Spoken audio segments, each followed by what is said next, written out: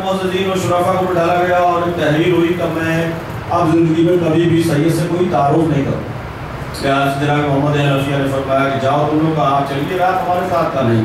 میں یہی رہوں گا، خانہ خدا ہے یہ۔ تم جاؤ، مختار اور ابراہیم کو ہمارا سلام۔ سلامات۔ پڑھے محمد علیہ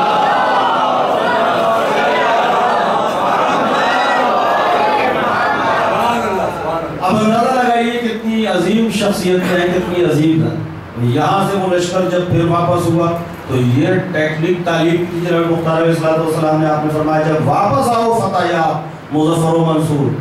تو اسی ترتیب سے آنا اور کوفے کے باہر سب کے سب اکٹھے ایک جگہ پر ہو جانا۔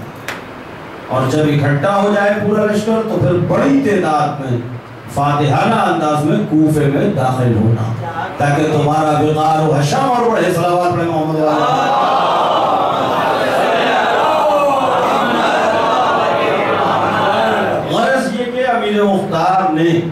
اور ابراہیم مالک اشتر علیہ السلام نے امام حسین علیہ السلام کے کسی مجرم کو اپنے جانتے ہوئے کسی متنفس کو چھوڑا نہیں، جس سے اس کے کیفر کردار کا کیا ادھر یہ خاموش ہوا عبداللہ بن زبیر۔ سمیٹ کے ساری چیزیں جوڑتے ہوئے پہنچانے کی کوشش کر رہا ہوں۔ مصعب بن زبیر، جب اس نے انکار کیا، محمد بن اشس اور عمر بن حجاج زبیری زبیری کے لیے۔ تو امیر مختار نے لشکر تیار کیا۔ اور ایک لشکر تیار کرنے کے بعد آپ نے جناب احمد بن شمید اور شیر بن ابی شیر اور عبداللہ بن کامل بن بہادروں کی سکرتی میں وہ لشکر بسرے کی طرف روانہ کیا کہا میں کسی بھی قیمت پر محمد بن اشس اور عمر بن حجاج زبیری نے قتل کرنا ہے اس لیے کہ یہ امام کے قاتل ہیں۔ امام کے دشمنوں میں سے۔ اس کے بعد میرا مقصد پورا ہے۔ پھر موت کل آتی ہو تو ابھی آ جائے، پھر کوئی پرواہ نہیں۔ پھر میں اللہ سے دعا کرتا ہوں کہ مجھے شہادت نصیب ہو جائے۔ لیکن یہ دو قاتل امام کے رہ گئے ہیں، یہ کسی صورت سے ٹھکانے تک پہنچ جائے اب تھوڑا سا یہاں پر ٹیکنیکل غور فرمائے کہ جو جتنے بڑے سردار تھے، وہ اس مارکے پر نکلے اور ادھر موسل میں ابراہیم مالک اشکر علیہ السلام والسلام بڑے بڑے سردار اور بہت سے لوگوں کو لیے ہوئے ایک بڑی فوج لے کے پہنچے تھے اور کافی لوگ شہید بھی ہو چکے تھے امیر مختار کے ساتھ مصعب بن زبیر سے لڑائی چھڑ گئی یہ لڑائی بصرے اور کوفے کے بیچ میں چھڑی۔ اس لڑائی میں یہ ہوا کہ آخر میں جو کوفے کے لوگ رہ گئے یعنی جو میں نے عرض کیا تھا، آج پانچویں گفتگو آپ میرے ساتھ ہیں، جو سپاہ پیشہ لوگ تھے، جو پیشہ ور ملٹری سولجر فوجی لوگ تھے، جو بہت سے لوگ تھے جو شہید ہو گئے۔ جیسے خود جناب احمد بن شمید شہید ہوئے عبداللہ بن کامل کی شہادت ہوئی، شیر بن ابی شیر کی شہادت ہوئی۔ اب بہت سے مومنین جو جذبہ انتقام میں نکلے تھے، وہ تھوڑے تھوڑے ہو کے شہید ہو گئے۔ تو جو اب اکثریت جو بچی امیر مختار کے پاس یہاں پر آدمی کی وہ تھی جو پیشہ ور فوج تھی، جو جذبہ انتقام یا عشق حسین میں نہیں تھی، بلکہ وہ تھی کہ جب آپ کی حکومت تھی آپ کی فوج تھی تو جو ملٹری میں ملازم تھے، وہ لوگ۔ ان لوگوں نے یہ رویہ اختیار کیا کہ دن میں جنگ کرتے اور رات کے وقت اندھیرے میں نکل جاتے ہیں اپنے گھروں کو واپس۔ آہستہ آہستہ آہستہ آہستہ، ساتھ چھوڑ۔ آخر میں یہ پانچ چھ ہزار کی، تعداد ہے فوج پیچھے ہٹی پیچھے ہٹی امیر مختار نے بڑوں کے حملے کیے اور اس کے بعد آخر میں قلعے میں جناب مختار علیہ السلام نے اپنے آپ کو محسوس کر لیا۔ مذہب زبیر نے وہاں سے گراؤ کر اب لوگوں کو سمجھایا تحریر ترغیب کی۔ کہ دیکھو، ایک بار اور ہمت کر لو جیسے شروع کے دنوں میں تم ہمارے ساتھ تھے، تو ایک بار ہمت کر کے باہر نکل آؤ۔ تو اس کا نہیں، ہم اگر امان مان لیں عبداللہ بن مصعب بن زبیر سے تو کیا ہے، جناب مختار نے فرمایا، کیوں احمد پن کی بات کرتے ہو؟ اگر مصعب بن زبیر تمہیں امان دے بھی دے گا۔ کوفے کے ننانوے فیصد لوگ وہ ہیں جن کے کسی کے باپ کو، کسی کے بھائی کو، کسی کے بھتیجے کو تم نے میرے ساتھ رہ کے قتل کیا ہے۔ اگر یہ مصعب بن زبیر تو باہر کاٹ کے یہ بصرے سے آیا مکی ورس لے مکے سے آیا بصرے ہوتا ہوں اگر یہ امان دے گا بھی، تو جو کوفے کے لوگ اس کے ساتھ ہوں گے، اس کی سپاہ میں شامل ہوں گے، یا جب اس کی حکومت بن جائے گی، اس کے دربار میں آ کے بیٹھیں گے، اس کی بیعت میں آئیں گے، وہ اس سے احتجاج کریں گے کہ تم لوگوں کو یہ اس کی سپورٹ کرو، ان کے سپورٹ کرو۔ وہ کہیں گے، فلاں نے ہمارے بھائی کو قتل کیا ہے، اسے ہمارے سپورٹ کرو۔ اور کوفے کی بھیڑ جب مطالبہ کرے گی، تو اس کو اپنی حکومت برقرار رکھنا ہے، لہٰذا یہ انکار نہیں کر پائے تو تم سب لوگوں کا خون پائے گا تمہیں سب کو ختم ہونا پڑے گا۔ اس سے بہتر ہے کہ بے چارگی اور بے بسی کی موت مرنے سے ایک بار ہمت کر کے نکلو اور میرے ساتھ لڑو لیکن وہ بھیڑ تھی، بھیڑ۔ پہلے دن میں نے عرض کیا تھا، گفتگو ذہن میں ہے، وہ بھیڑ تھی جو مجاہدین تھے، سالڈ امیر مختار علیہ الصلوۃ والسلام کے ساتھ۔ کافی دن ہو گئے قلعے میں محصول ہو گئے، پانی بند ہو گیا، بھوک اور پیاس اور یہ ساری چیزیں۔ انیس لوگوں کی تعداد ملتی ہے۔ جو امیر مختار کے ہم خیال تھے۔ اب آپ دیکھیے، چھ ہزار کی تعداد ہے قلعے میں۔ لیکن ان میں سے جو لوگ نکلے ہیں وہ انیس کتنی تعداد ہوتی ہے؟ بات سمجھ رہے ہیں؟ شیعت کی تعداد کتنی ہوتی ہے؟ کتنی ہے؟ پرسنٹیج نکال لیجیے آپ۔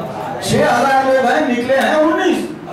مختار کے ساتھ۔ لشکر نکلنا چاہ رہا ہے تو کہا، ارے یہ اپنے آپ کو موت کے منہ میں ڈھکلنا ہے نیزوں کے سیلاب میں اترنا ہے۔ اتنی بڑی فوج ہے کیوں لڑے کیا کریں؟ سرنڈر کر دیتے ہیں، امان مان لیتے ہیں۔ جناب مختار نے فرمایا، جو جو میرے ساتھ ہے، وہ تیار ہو جائے۔ اور آپ نے تیار ہونے کے بعد حنوط کیا۔ کافروں سے جو حنوط کرتے ہیں، کفنی پہنے اور کفنی پہننے کے بعد بالکل تیار ہو کے جیسے مرنے کے لیے جانا انیس لوگوں کو لے کے ساتھ۔ اور انیس لوگوں کو ساتھ لے کے نکلنے کے بعد وہ بھیڑ ایک طرف چلی گئی مصعب بن زبیر کے ساتھ۔ اب تک سب شیعت کا نعرہ لگا رہے تھے۔ لیکن جب نہیں تو فرمائی آپ نے۔ اب تک سب شیعت کا نعرہ لگا رہے تھے۔ مگر جب میدان نبرد میں امتحان عقیدہ کی باری آئی تو امیر مختار کے ساتھ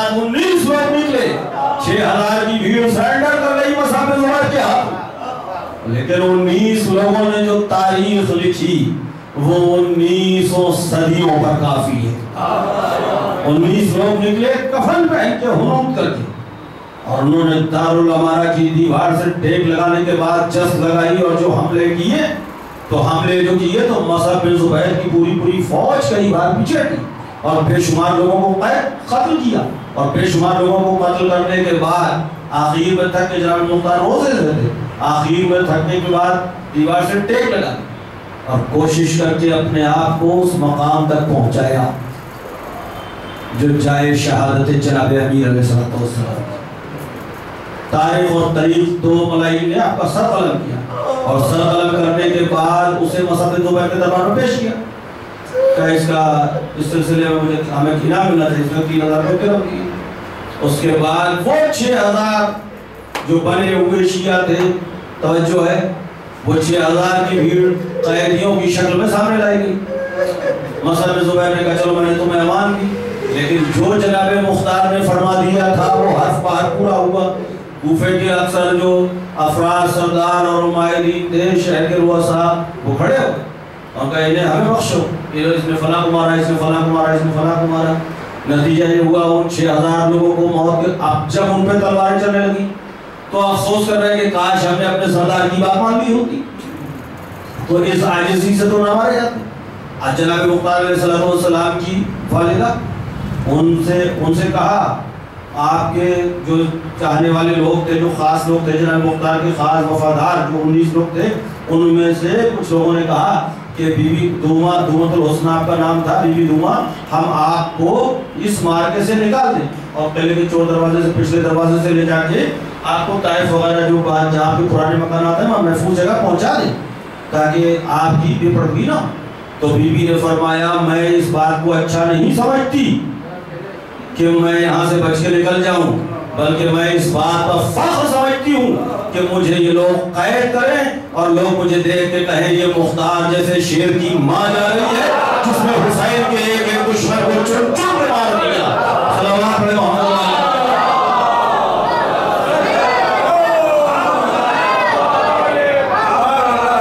ایک بار اور درود پڑھ دیں محمد اللہ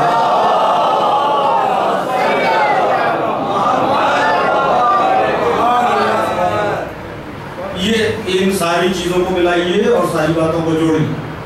جذبہ عشق اہل بیت علیہ الصلوۃ والسلام کس حد تک سرشار رہا ہے ان ذوات مقدسہ کی مثال نہیں مل سکتی، وقت میں اجازت نہیں دی اور نہ جناب مختار علیہ الصلوۃ والسلام صرف ان کی ذات تک یہ بات محدود نہیں ہے، نہ جناب ابراہیم بن مالک علیہ الصلوۃ والسلام کی ذات تک، بلکہ آپ حضرات علیہ السلام وہ ہیں کہ جن کا پورا خاندان، پورا گھرانہ بنا میں حسین علیہ السلام قربان ہو گیا۔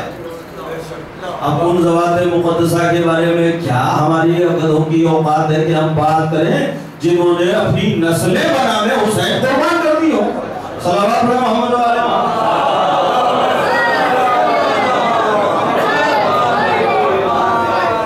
توجہ فرمائے میں نے ساری باتوں کو سمیٹا باتوں کی باتیں عرض کرتا ہوں ایک دیکھیے اعلان قبلہ تشریف فرمائے کی صاحب یہاں باہر مدرسے کا بینر لگا ہوا ہے۔ اور مجھے حکم دیا تھا کہ اعلان کرتے ہیں آپ۔ تو آپ اس میں دیکھیں جو تعاون جس سے ہو سکے بہرحال تعلیم اور تعلم دونوں کام عبادت ہے اور اہم چیز ہے علم دین میں جس کا بھی جو حصہ ہو، خدا جس کو بھی جو توفیق دے۔ ایک بار صلوات پڑھیں محمد والے محمد۔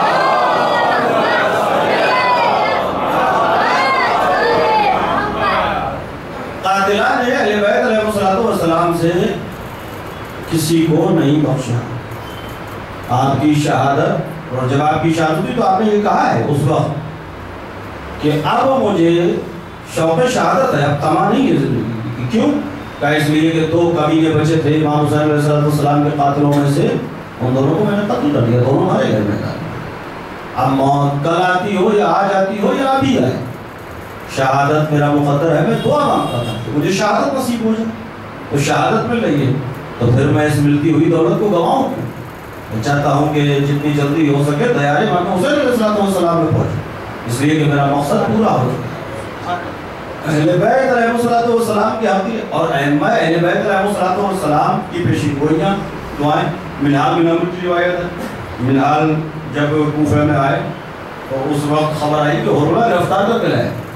تو منحال نے فوراً سجدہ شکر میں سر جناب مختار نے فرمایا منحال سجدہ شکر، اچھی بات ہے، مگر یہ خاص بات کیا، کا بات یہ ہے کہ میں مدینہ سے ہے مولا امام سجاد علیہ السلام کی خدمت میں گیا تھا، تو یہاں کے حالات معلوم کیے۔ تو یہاں کے حالات معلوم کرتے کرتے مولانا نے پوچھا، کیا حرملہ گرفتار ہوا؟ تو میں نے کہا، ابھی نہیں۔ تو مولانا نے فرمایا، خدا اسے آگ کا اور لوہے کا مزہ چکھائے۔ جہنم کی آگ سے پہلے اس دنیا میں آگ کا اور لوہے کا مزہ چکھائے آج مجھے جب معلوم ہوا کہ حرملہ گرفتار کر کے لایا گیا ہے، تو مجھے چوتھے بان کی بات یاد رہی کیا کہا تھا میرے مولا نے؟ کہا یہ کہا تو مولا نے کہا اچھا تو یہ سچ کر کے دکھاتا ہوں مولا نے بات حرملہ کو گرفتار کر کے سامنے لایا گیا۔ آپ نے فرمایا کہ اس کے ہاتھ پاؤں کاٹ دیے جائیں اور اس پر تیر چلائے جائیں اور اس سے اور جب یہ تھوڑا زندہ ہو، تو اس وقت اسے چلا دیا جائے۔ اور اس کے بعد اس کا سر کاٹ جائے میرے مولا نے فرمایا ہے کہ اسے لوہے اور آگ کا مزہ چکھائے۔ تو مولا کا فرمان اس سر منہ بھی ہٹ نہیں سکتا جو مولا نے فرمایا ہے، وہی۔ عمار جناب عبد الرحمن بن عقیل علیہ السلام کا قاتل گرفتار کر کے لایا گیا۔ پوری تاریخ کو اگر آپ دیکھیں تو یہ اپنی نوعیت کا واحد واقع ہے۔ عمار ملون جناب عقیل عبد الرحمن بن عقیل علیہ السلام کا قاتل تھا۔ جب یہ گرفتار کر کے لایا گیا، اسی وقت جب یہ گرفتار کر کے لایا گیا کہ تو غلام نے بتایا کہ جناب مختار علیہ السلام سے کہ کوئی خوب روح، خوبصورت، نورانی چہرہ، بچہ ہے شہزادہ چھوٹا پارا، چودہ برس کا، وہ آپ سے ملنا چاہتا ہے۔ تو جناب مختار نے دیکھا دربار میں بچہ چہرے کی چمک سے پہچان لیا۔ کہ اس کا تعلق کس گھرانے سے؟ فوراً تخت سے نیچے اترے، کہا، آپ کون؟ اس نے کہا کہ میں عبد الرحمن بن عقیل کا بیٹا، جناب عقیل کا پودا کہا، یہاں آنے کی زحمت آپ نے کیوں فرمائی؟ کہا، آپ کو تو معلوم ہی ہے کہ کربلا میں ہمارا سب کچھ لٹ گیا۔ میرے والد کو شہید کر دیا گیا، سارا کنبا سارا گھرانہ ہمارا۔ اور ہم مدینے میں زندگی گزار رہے تھے، جب معلوم ہوا کہ آج کل کوفے میں مختار جیسا شخص حکومت کر رہا ہے جو ہمارے گھرانے سے محبت رکھتا ہے۔ تو میں امام علیہ السلام سے اجازت لے کے آیا ہوں کہ چلو کوئی دن کوفے میں رہتے آپ نے فرمایا تمہارے ساتھ اور کوئی بھی ہے؟ کہاں والدہ ہیں؟ اور وہ بہنیں ہیں بھائی کہا ٹھیک ہے؟ کہا مجھ سے کیا چاہتے ہیں؟ کہا میں چاہتا ہوں کہ اپنے باپ کے قدر سے انتقام آپ نے غلام سے فرمایا کہ خنجر شہزادے کے سپورٹ کرو، انہیں اختیار ہے یہ جس طریقے سے چاہیں اپنے باپ کے قاتل کو قتل اس شہزادے نے خنجر سے اس قاتل کو کیفر کردار اس کے بعد امیر مختار تخت سے نیچے بیٹھے اور سید زادے سے کہتے ہیں کہ آپ تخت کا جلوہ افروز۔ جب تک آپ دربار میں موجود ہیں، ہمیں زیر نہیں دیتا کہ ہم اولاد علی کے سامنے کرسی پر بیٹھے۔ عشق اہل بیت جس کے ہاں اس درجہ کوٹ کوٹ کے بھرا ہو۔ اس کے بارے میں کیا بےہودہ باتیں تاریخ اور یہ دو دو دن کے موقع کا جس کی زیارت امام سے ہو معصورہ جسے سلام امام نے بھیجا۔ ہوا اس کی عظمت اور اس کی جلالت قدری کا کون اندازہ لگا سکتا ہے؟ جسے اہل بیت علیہ السلام نے کی دعاؤں سے مرہ بن منقذ جناب علی اکبر علیہ السلام بکتی نیزہ چلانے والوں سے۔ آپ نے اس کے اتنے نیزے لگائے کہ نیزوں علی کے صدموں سے ہلاک کر دیا۔ بشیر بن لوت جس نے تازیانہ لگائے تھا شہدتی میں کلسوم سلام اللہ کہ اس کے اتنے تازیانے لگائے جائیں کہ اس کی جان نکل جائے اور تازیانے چلتے ہیں۔ جن لوگوں نے امام ضرور امام حسین علیہ السلام کہ لاشے پر گھوڑے دوڑائے تھے انہیں چپ لٹا کے میرے ٹھوک کے ان کے اوپر گھوڑے جب تک دوڑواتے رہے، جب تک وہ سب ہلاک نہیں جنہوں نے امام ضرور علیہ السلام کو اسیر کیا تھا، ان سب کو زندہ جلائے جنہوں نے شہزادی سکینہ سلام اللہ علیہ کے کانوں سے گوشوارے چھینے تھے، ان کے ہاتھ کاٹ دیے پھولی کا بند بند جدا کیا۔ اور غلام بن قاہل اسدی سے مولا پوچھنے لگے جناب مختار پوچھنے لگے، پتہ تو نے کیا کیا وہ اپنے تین تیروں کے بارے میں گرانے لگے میں نے یہ تیر جو ہے شہزاد علیہ السلام کے گلے پر ایک تیر اس وقت امام حسین علیہ السلام کی پریشانی پر لگایا جب آپ خوشت فرض پر جھوم رہے امام نے فرمایا، تجھے تیر اندازی کا مزہ چکھا جناب مختار نے فرمایا، تجھے تیر اندازی کا مزہ چکھا جو تو نے امام پڑھا اور اس کے بعد آپ نے تیر کمان ہاتھ میں لینے کے بعد خدا یا گواہ رہنا یہ تیر میں راہ محبت اہل بیت بنے اس طریقے سے جو جو جس نے کیا تھا اس کو اس کے کے فرق روایات میں ملتا ہے، تاریخوں میں ملتا ہے کہ دربار میں ایک ایسی حالت تاریخ ہو جاتی تھی کہ امیر مختار روتے روتے غش کر جاتے جناب عباس علیہ السلام کے قاتل جواب کے سامنے لائے جو ہی نہیں، بہت سے لوگ۔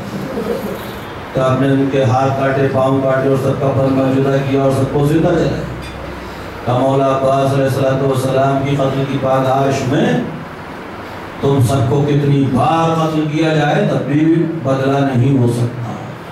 بس رضارہ نے امام مظلوم ہے مجلس خط چند جملے مسائب کی سماعت فرما لے عشق اہل بیت کا سرمایہ ہے۔ ہمارا غرض خلقت ہماری غرض یہی ہے۔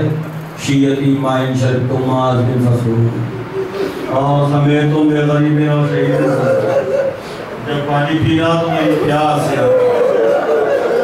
میں نے مجلس ختم کر دی قادیان مجلس سے بھوک ملا ہے کہ کچھ تذکرات چونکہ باب الحوائی میں مجلس ہو رہی ہے، تو غازی سرکار کا ہو جائے۔ اس حوالے سے چند باتیں آپ حضرات کی خدمت میں عرض کیے دیتا ہوں۔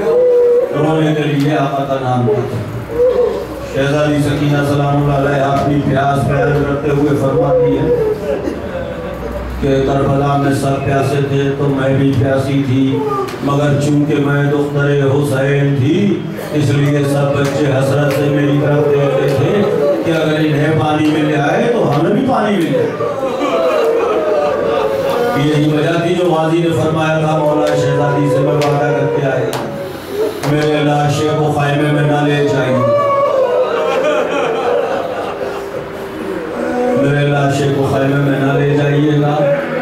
سکینہ سے شرمندہ۔ مشکیزہ لے کے آگئی شہزادی بابا۔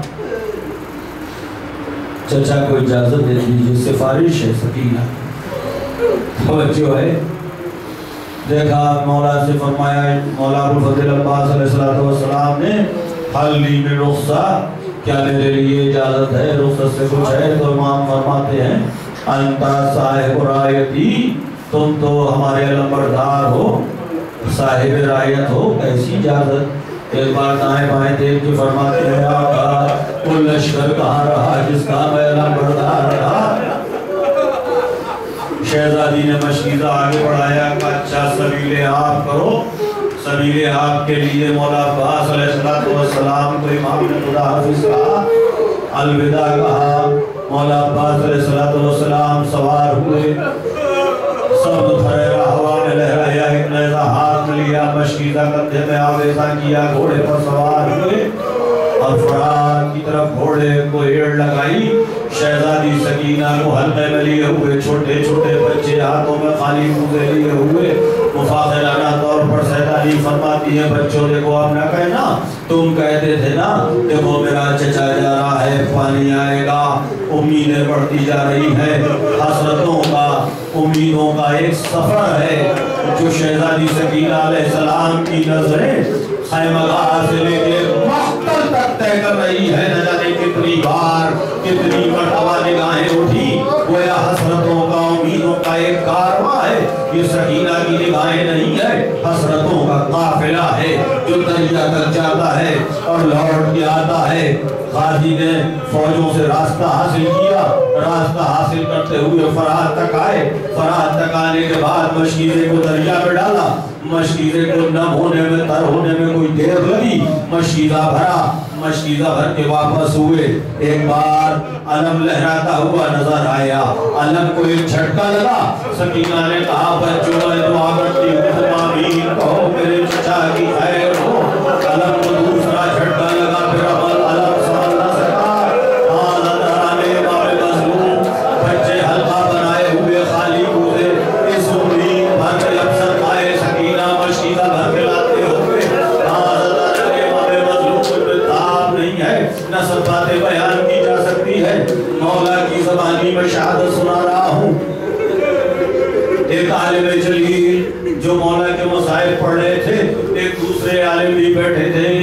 بات ہے مولا کے روزے کی سہنے امام حسین علیہ السلام کی۔ تو دوسرے عالم نے کہا کہ تم نے مسائل کچھ سخت پڑھ دیے۔ مسائل میں دھیان رکھا کرو، مقتل میں جو ہو وہی پڑھا کرو۔ زیادہ سخت مسائل پڑھ دیے۔ وہ عالم اپنے گھر گئے، وہ اپنے گھر گئے۔ خواب میں دیکھتے ہیں، چھوٹے سرکار تشریف لائے ہیں۔